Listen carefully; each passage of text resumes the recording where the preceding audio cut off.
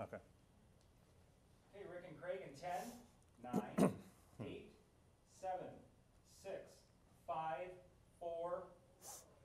Hi, I'm Craig Fugate, the administrator of the Federal Emergency Management Agency, commonly known as FEMA. and I'm here at the National Hurricane Center with Dr. Rick Knabb.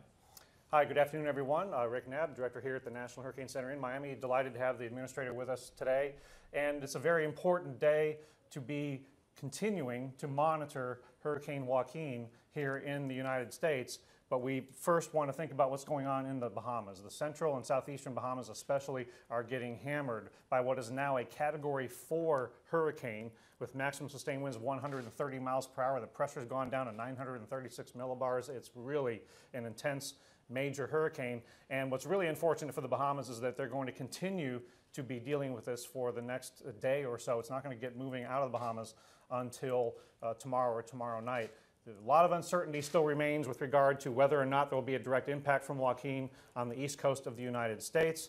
Still a lot of uncertainties in the various models. Our 5 p.m. advisory that will come out in a little while still does not have the benefit yet of all the model output having yet come in, so our forecasters will be analyzing that over the next few hours. We continue to have Air Force reconnaissance aircraft inside the hurricane, which is the basis of the upgrade to Category 4, just here on our intermediate advisory.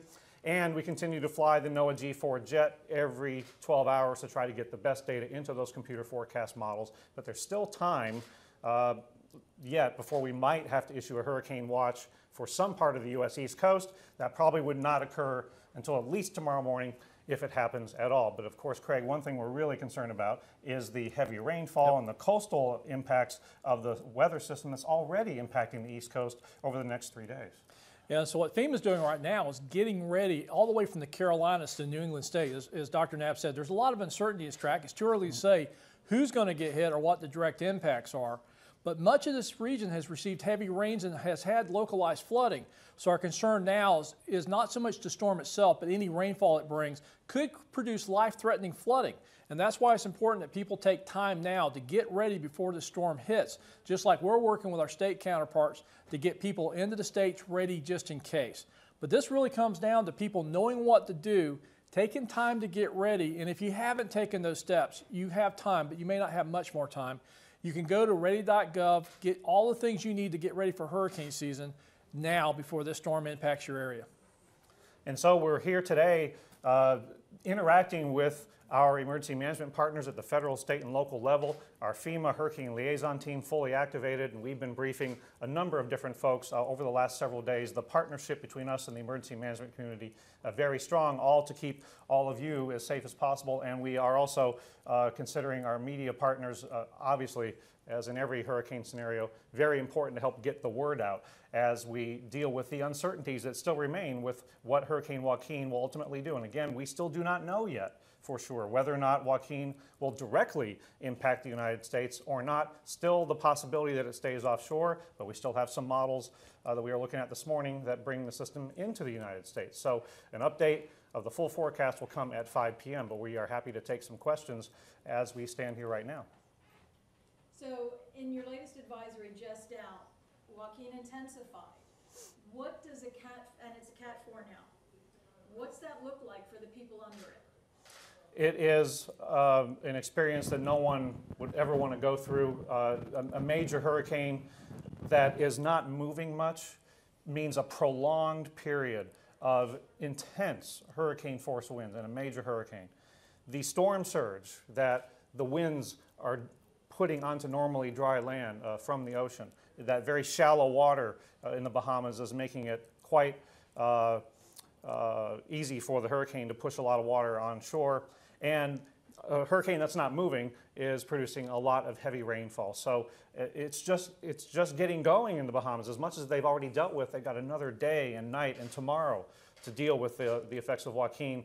Uh, an intense hurricane that's not moving, that's just, uh, that's, that's not good at all. Um, it will eventually get out of the Bahamas, perhaps in the next day to day and a half, but then we still don't know uh, where Joaquin will go next. And as we've been talking about, Administrator Fugate, uh, we, we're seeing in the U.S. East Coast, you don't have to have a tropical cyclone to have a slow-moving weather system that is going to potentially drop a lot of rain. So just because the hurricane is in the Bahamas doesn't mean uh, you aren't dealing with some very life-threatening conditions along the East Coast, inland flooding, and dangerous rip currents, surf, and uh, onshore flow uh, along the east coast of the U.S. I'm really afraid about people uh, getting in their cars, getting into dangerous situations on water-covered roads, or going to the ocean to see what's up with the waves. And we've lost lives even when a hurricane stays offshore. Yeah, probably the best safety tip we can tell you is stay off the roads during the storm and turn around, don't drown. Uh, fast moving water, only a couple of inches can actually sweep you off your feet. Six inches or more can sweep your car off the road. So we think it's, you know, as much as we talk about this as a hurricane, again, this will not be a point on the map. Uh, this can produce impacts also far inland, as we saw with Hurricane Irene, that sometimes people think hurricanes are just a coastal event. It really depends upon how the storm shapes up and interacts with any frontal systems. If we get a lot of rain and in an area that's already saturated, we can get a lot of flash flooding, a lot of major flooding, well away from the coast. So that's why, again, we're telling people don't focus on a track, don't focus on a point on the map. You really need to stay tuned with your local weather service offices on warnings that may be required because of either the impacts of the system or the direct impacts of the storm if it comes ashore. And a, a, major hurricane that's sitting uh, in the Bahamas is already pushing energy in the ocean toward the southeastern United States. So even today, we are seeing some dangerous surf and rip currents uh, along the southeast and mid-Atlantic coast starting to materialize. So it's already dangerous along the beaches of the southeast U.S. Talked about the forecast uncertainty a little bit. Can you tell us why it's uncertain, when you might have some granularity? We're talking about, you know, a very densely populated part of the eastern seaboard and models at one point showing further south. Now they've shifted more to the right. What's happening? The models have been very inconsistent and very much in disagreement for the last couple of days, as Joaquin has been in an area of very weak steering currents. And what's been the disagreement is whether or not the trough that is uh, developing over the eastern U.S. is going to pick up Joaquin, or if Joaquin's going to stay down there long enough to miss that opportunity to take that off ramp and take a different one uh, that goes uh, farther uh, northeast rather than north or northwest. And not all the models have stayed in the same side of that argument. You know, they've been flipping back and forth in some cases. Some have been consistently offshore. Some have been consistently bringing it into the east coast, and they've been moving back and forth in, in groups. Uh, and so I can't predict what the next collection of models are all going to say that we're going to look at for our 5 p.m. advisory. So, what we hope will happen is that in the not so distant future, hopefully very soon, today or tomorrow, that the additional data that we're collecting from the NOAA G4 jet that's going into the models, along with the additional balloon launches over the U.S., are going to bring those models into better agreement. Administrator Fugate, dealing not only with the general public, but also a community of emergency managers on the state and local level, who in many cases are trying to ramp up preparations even as they are already dealing with rescues and all kinds of critical situations. What are the challenges for preparing for, now we have a category four hurricane, while you're already in, essentially, you're already in one, a, a- a quasi-emergency situation? It's the business we're in. And again, one of the tools that we have at the state and local level is their ability to call mutual aid from other communities and other states. And so it's not just what the federal government's doing, it's what other states can do to support that. And again, as we're looking at the potential impacts, our first concern is going to be on search and rescue, swift water rescues, and people that may be stranded or cut off due to floodwaters. Again, if we see a track that says this storm's going to come ashore, we may be dealing with coastal evacuations. Again, we are working with our state partners and literally are deploying personnel teams and resources from the Carolinas all the way through the New England states. Uh, we're not, we're not going to wait to know for sure where it's going to hit because we know we need to be ready to support that. We know states are already impacted from flooding, and this could either make the flooding worse or cause whole new challenges if this storm does move closer to the coast. So we're not taking any chances. That's why we're telling the public this is the time to make sure you have a plan and you're ready. You know, we can't always tell where these storms are going to go, and if you're, you know, waiting to the last minute, it may be too late. We've got time. This storm is down in the Bahamas. It's not going to come out there quickly. So if you're from the Carolinas through New, the New England states, if you didn't get ready for hurricane season, This is your time. This is October 1st. Get ready. This storm is still out there. We don't know for sure where it's going to go. Now you need to be ready.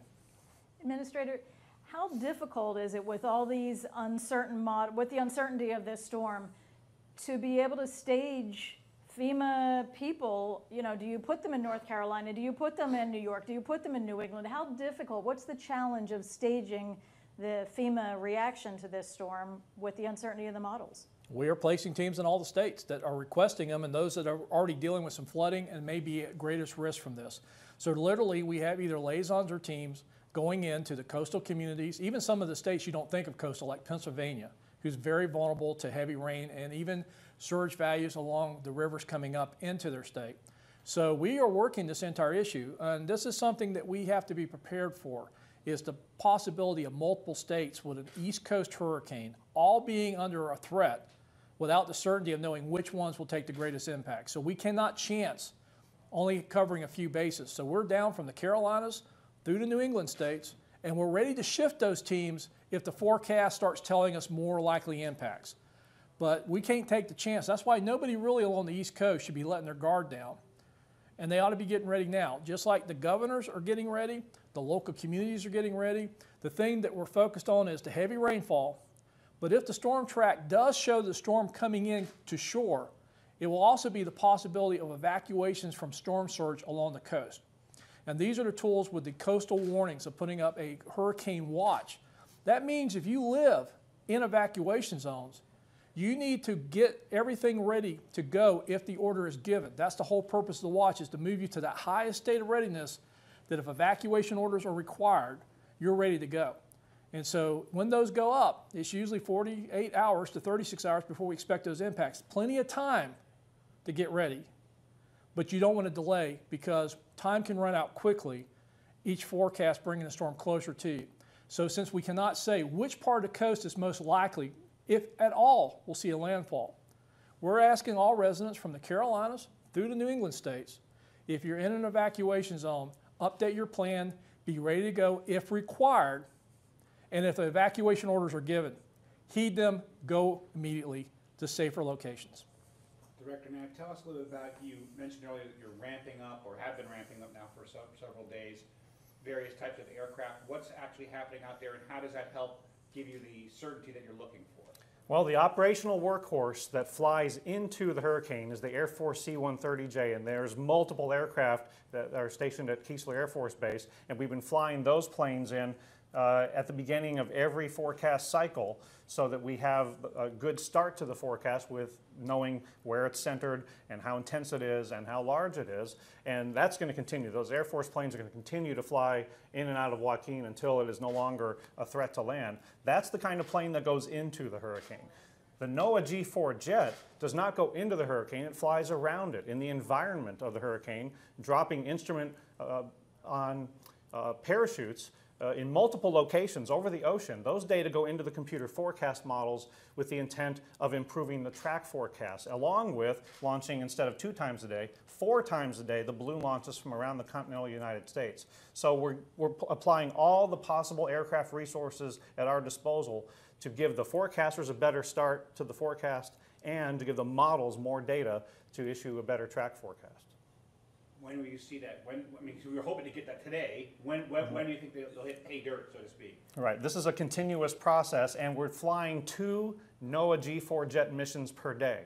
And the first uh, operational such mission was last night. That influenced the data that went into the models we saw for the 5 a.m. advisory. That did not result in tremendous agreement in the models, did see some shifts in the models.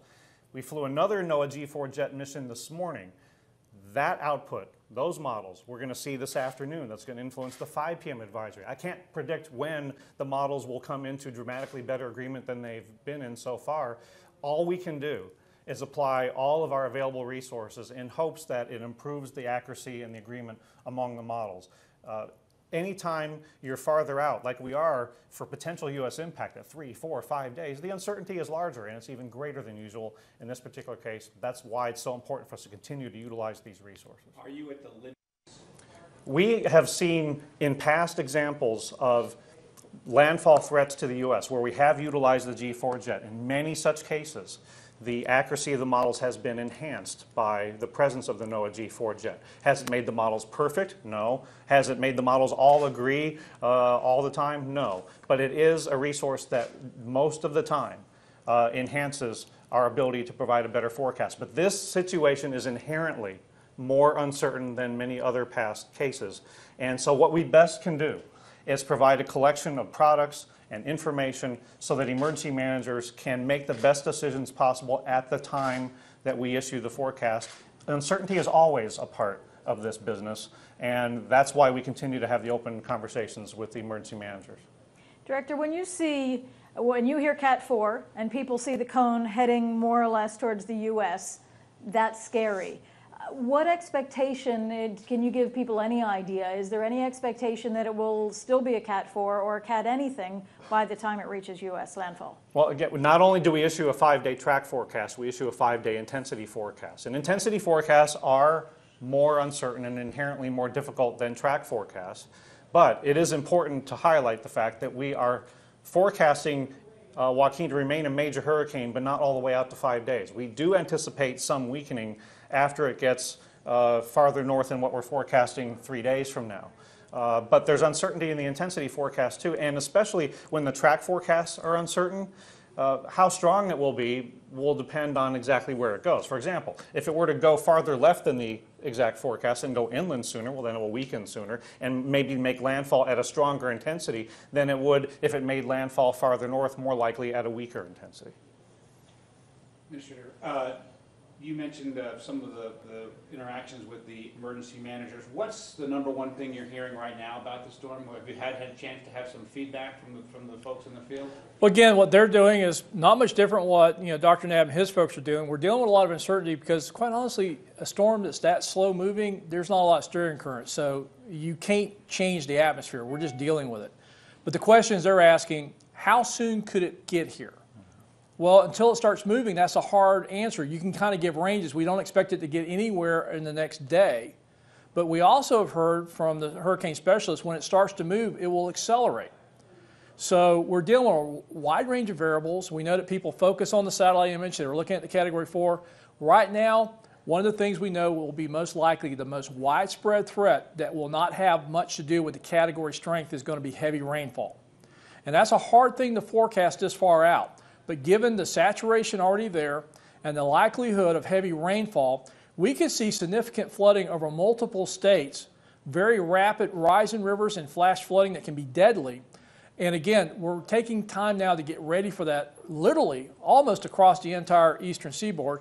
And as Dr. Knabb said, Florida and Georgia are not out of the woods. They're going to be dealing with storm swells, they're going to be dealing with rip currents and dangerous uh, uh, sea states, as well as potential for coastal erosion. And the longer it sits down there, the worse that gets.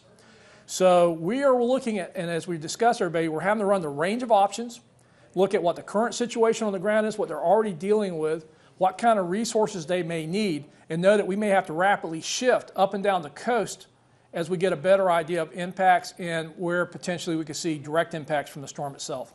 Follow-up on that would be, post-Sandy, what is your assessment today of- in this area of the United States about whether things are better hardened than they were in the past? Well, you know, there's still a lot of reconstruction going on from that, but I think one of the lessons we learned and we work very closely with is the electrical utilities and the power outages that occur in any of these storms.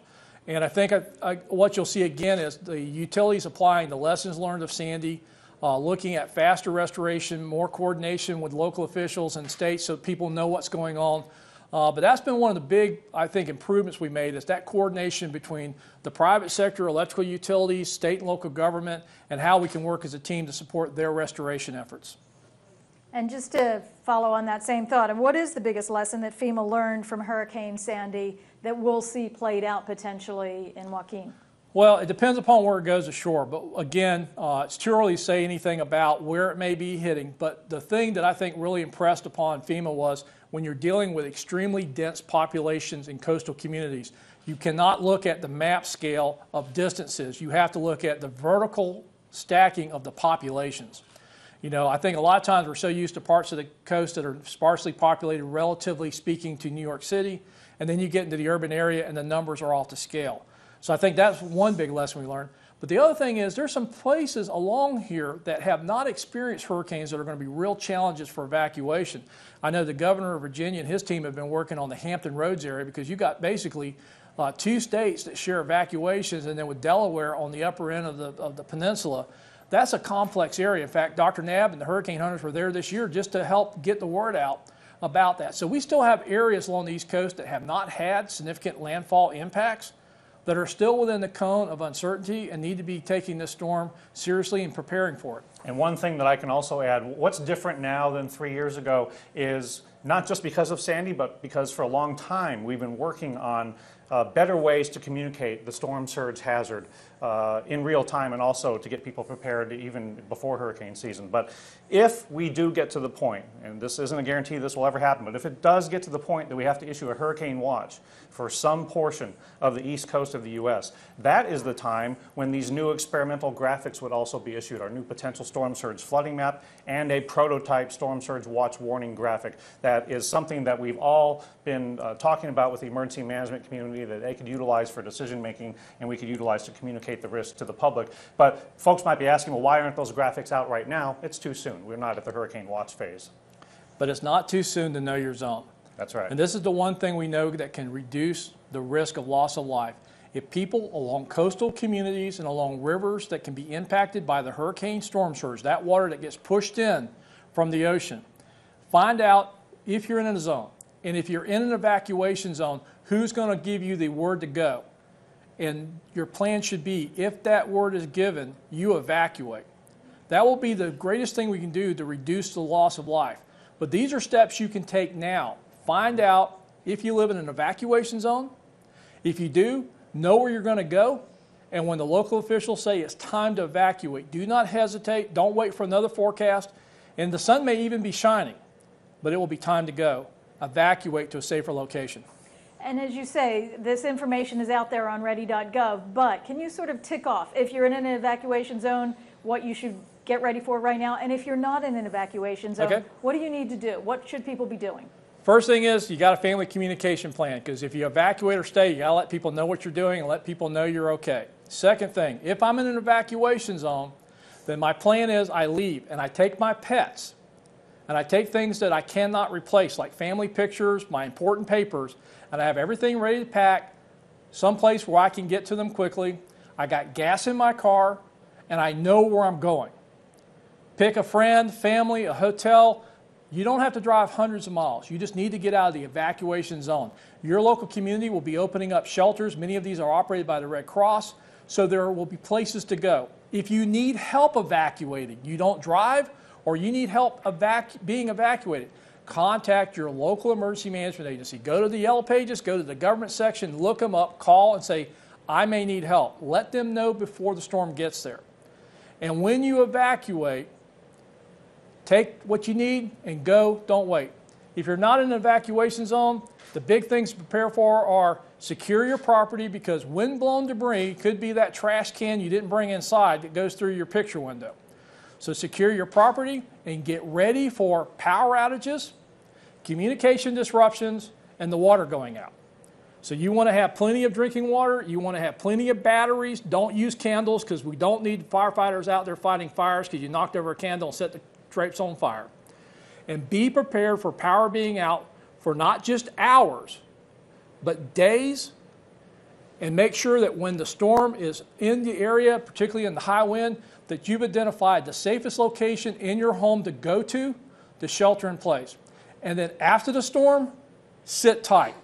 We've had too many people lose their lives who go out after a storm in a very hazardous situation from electrocutions, drownings, and just the type of injuries that can occur when you go out in an area with a lot of debris.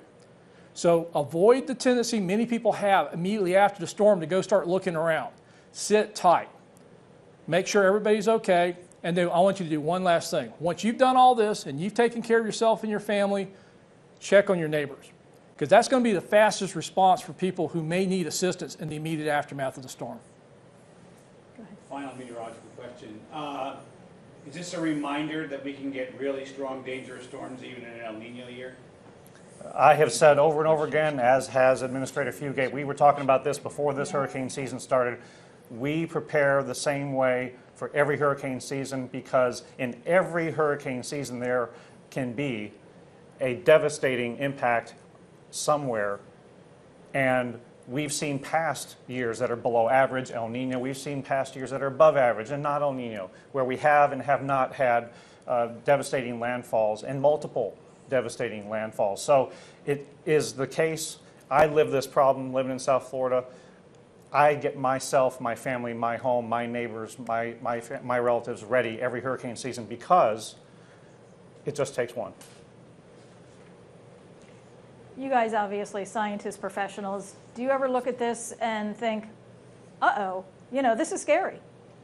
Oh, I'm very scared of hurricanes, uh, but I try to make it a healthy fear by channeling that into action, getting ready before the hurricane season even starts. And again, as Administrator Fugate said, it's not just about the forecasts and the products, it's about individuals, families, businesses getting themselves ready way in advance because all of those new products that we've got, all of the technology that we are applying to this forecast process isn't going to be as effective as it could be if people haven't thought about and planned for in advance what they're going to do if those watches or warnings are issued for their area, if they are told to evacuate or to take other actions. And I got to echo what Dr. Knabb said. You know, I respect the impacts and the power of these storms. And if you live along the coast of the United States, part of the benefit of living there is the reality that this is a threat.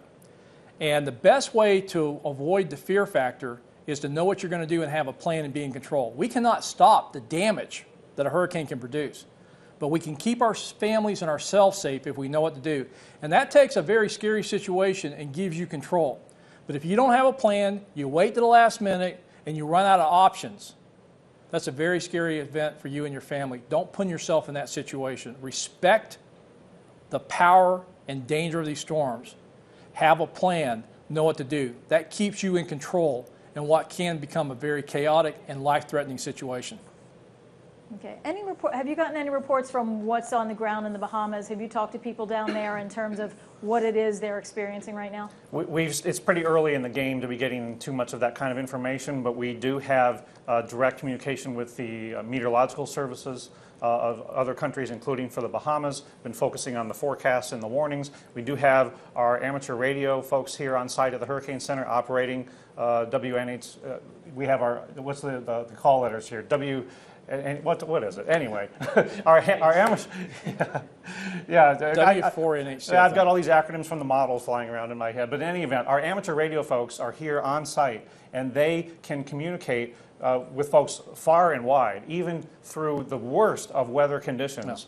And uh, we have not heard yet anything uh, through those channels, uh, but I would be surprised if there aren't some pretty Yeah. significant impacts. And it's a, it's, it's- it's a rare case for a major hurricane to hit a land area and for there not to be some significant Yeah. impacts. What they did is we activated what's called the Hurricane Watch Network, and it's volunteers both throughout the Caribbean as long as the U.S. coastlines. And so they're in communication with each other, and oftentimes when all else fails, amateur radio can get through. So that watch net is important not only sometimes to pass meteorological data to here to the Hurricane Center, but also give us those initial reports or areas that can't get through any other way. So that net got activated yesterday. They're up and monitoring it, and we're listening to hear what's going on, uh, but also prepared if we have impacts in the U.S. where amateur radio will be supporting our response. Excellent. Any final, Amateur radio will be supporting our response. excellent. Any final thoughts as we wrap up? Anything else, any other messages you want to get out there? Well, let's be careful not to be making some decisions based on what one new model run says. We've got a ways to go yet before we know for sure what Joaquin is going to do after it exits the Bahamas. And now's the time to get ready. And if you've got your plan and your supplies in place, make sure your friends and families have done the same. Otherwise, you may have house guests when this storm impacts your area. Very good. Thank you. Thanks, gentlemen. Thank you. Okay, thanks.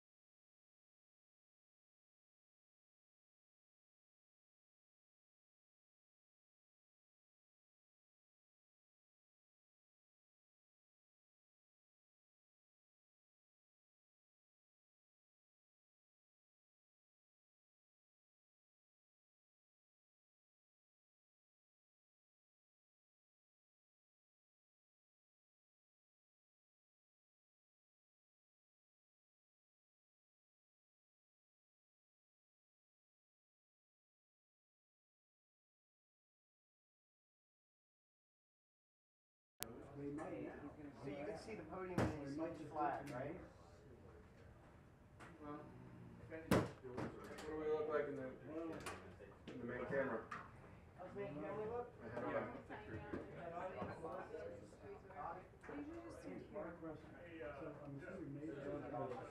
I hear you. If you're talking to us, yeah. Audio check one, two, audio check one, two, three, four, five. Audio check one, two, three, four, five, six, seven, eight, nine, ten. One, two, three, four, five.